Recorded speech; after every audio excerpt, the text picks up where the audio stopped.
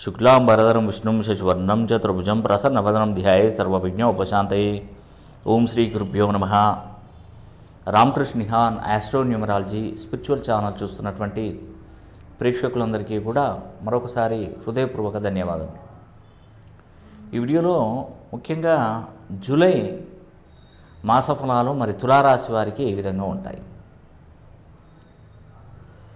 మనకున్నటువంటి ద్వాదశ రాశులలో తులారాశికి చాలా గొప్ప ప్రత్యేకతలు ఉన్నాయండి. ఈ తులారాశి సప్తమ స్థానం కలత్ర వివాహం అని సక్షేత్రంగా మనం చెప్పుకోవచ్చు.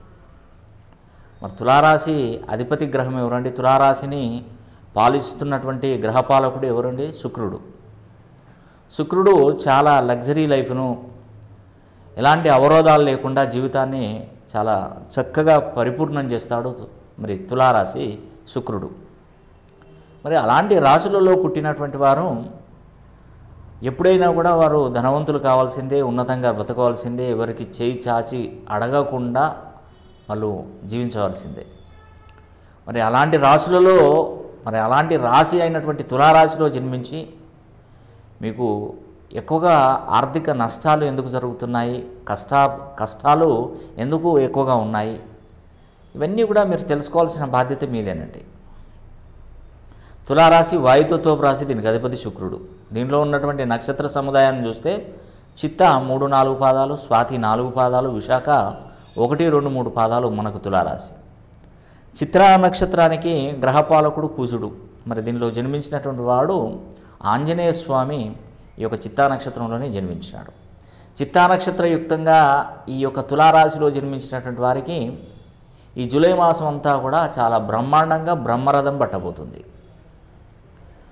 ఎందుకంటే ఈ తులారాశి అనేది కూడా అది మామూలు రాశి కాదండి. చిత్తా నక్షత్రయుక్తంగా. చిత్తా నక్షత్రయుక్తంగా జన్మించినట్టు తులారాశి వారు ఏంటంటే అంచెలంచెలుగా ఎదుగుతారు. వీరి వీరికి ఏంటంటే మెయిన్గా వారి పేరులో ఉన్నటువంటి సంఖ్యాబలం కనుక సరి చేసుకోలేదనుకోండి ఆ సంఖ్యాబలం సరిలేకపోతేనే సమస్యలు ఎక్కువగా జరుగుతాయి. ఆర్థికంగా ఇబ్బందులు కలుగుతాయి.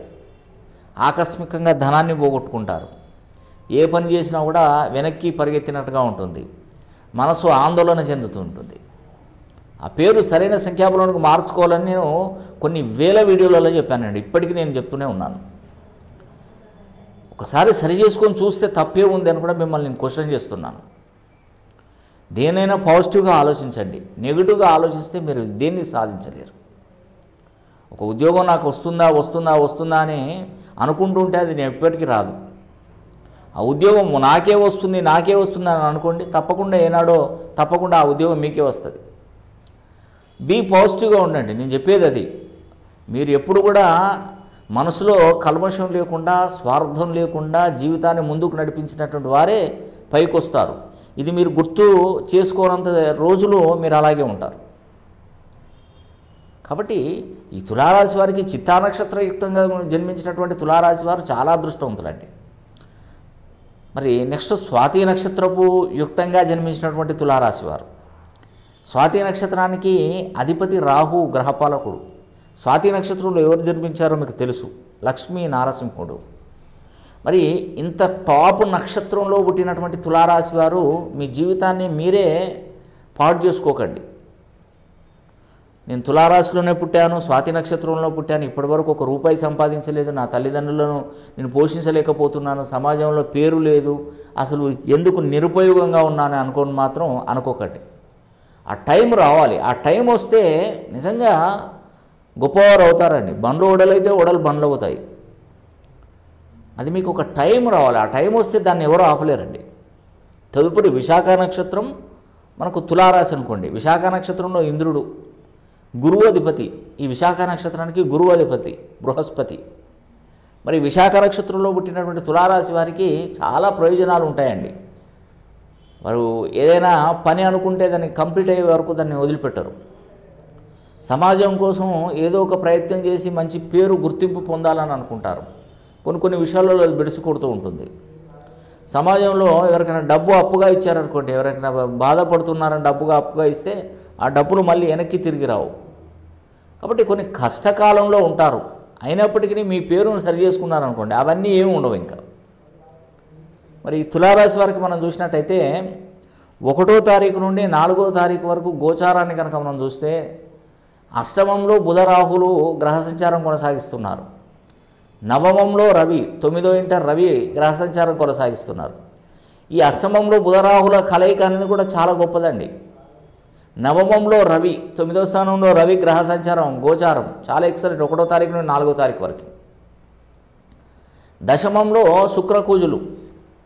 పదో స్థానంలో శుక్రకూజులు గ్రహ సంచారం కొనసాగిస్తున్నారు ద్వితీయంలో కేతువు చతుర్థంలో శని పంచమంలో గురువు మరి షష్టమంలో చంద్రుడు గ్రహ సంచారం కొనసాగిస్తున్నారు. అదేవిధంగా ఈ ఐదో తారీఖు నుండి పదహారో తారీఖు వరకు ఈ నెలలో జూలై మాసంలో ఈ పదహారో తారీఖు వరకు అష్టమంలో రాహు.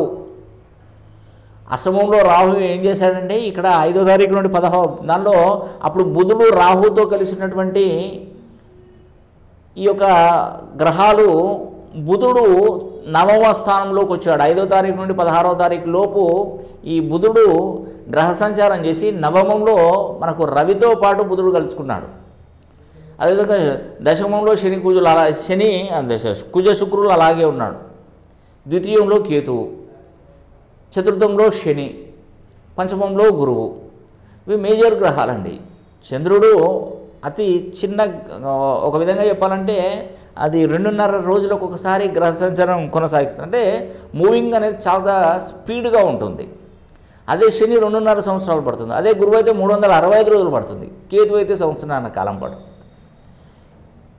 అదేవిధంగా కుజుడు అయితే నలభై ఐదు రోజులు ఉంటాడు అది. రవి ముప్పై రోజులు బుధుడు ముప్పై రోజులే ఉంటాడు. అలాగా మొత్తం మనకు ఈ మేజర్ గ్రహాలు అయితే ఈ సంవత్సరం అంతా అలాగే ఉంటాయండి. శని మరియు గురువు మరియు కేతువు రాహులు ఇవి మేజర్ గ్రహాలు. ఇవి ఈ సంవత్సరం పూర్తయ్యేలో కూడా అలాగే ఉంటారు.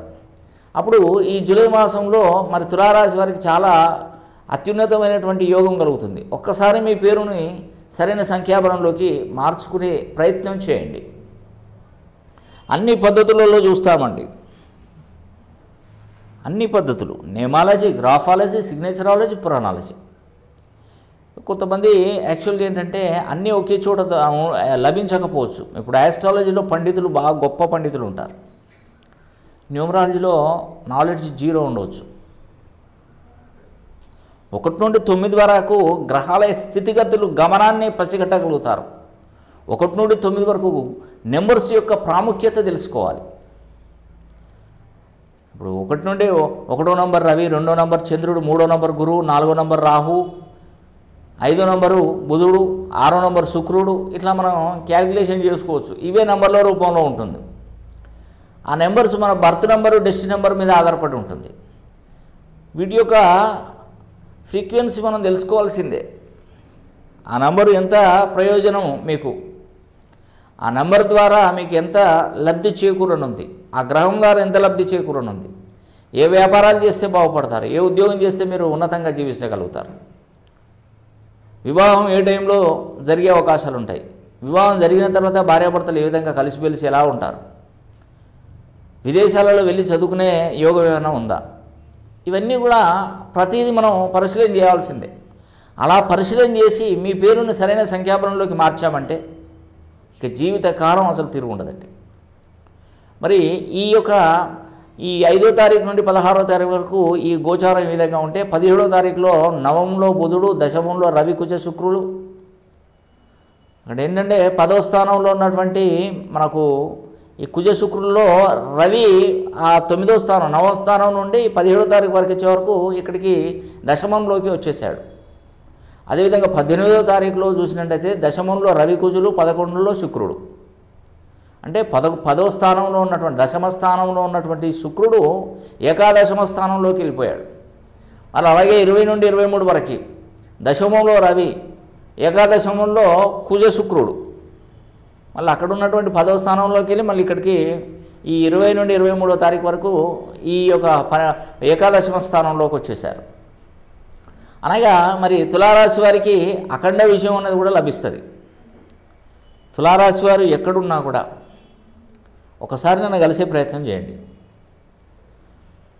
బీ పాజిటివ్గా ఆలోచించి ఒక్కసారి నన్ను ప్రయత్నించండి. కలిసే ప్రయత్నం చేయండి.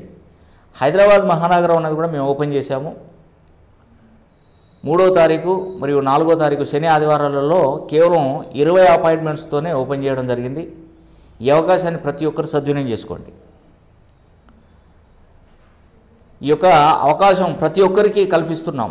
దూర దూర ప్రాంతాల నుండి వచ్చేటువంటి వారందరూ కూడా ఈ అవకాశాన్ని సద్వినియోగం చేసుకోండి. నన్ను డైరెక్ట్గా కలవాలనుకున్న వారికి డైరెక్ట్గా కలిసండి అక్కడ.